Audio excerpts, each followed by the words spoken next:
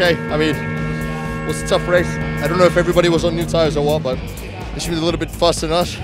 We came out a little bit in the wrong place, and then from there it was tough with managing the traffic of the GT3s and the GT4s. But in the end, did quite a good move to pass Peter and finish P3, so I'm, pretty happy. Um, yeah, I lost out a place on the start. I think I made a mistake. I, I hit the limiter and then I saw Marchy go by. But I struggled a bit in the beginning and then I managed to then get it consistent till the pit stop window open. Handed it over to Mitch. Uh, he had a tough time behind the Porsche, but eventually got ahead of them.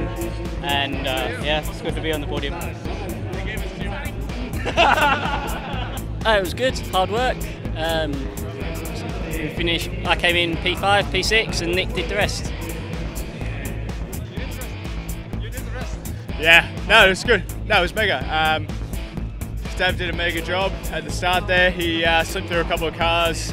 Uh, unfortunately, we didn't qualify as high as we'd like to, so the work was uh, a little bit harder through the mid there. Um, yeah, a bit tough when you're following around Suzuka. Obviously, the aero sort of kills it, but once we got in front of some cars and got some clear space, the car was mega quick. The Craft Bamboo guys have done a mega job uh, all weekend. The car's super quick, and this just proves it. So yeah, awesome. Good job. Thank, you. Um, yeah, I think it's a very good race.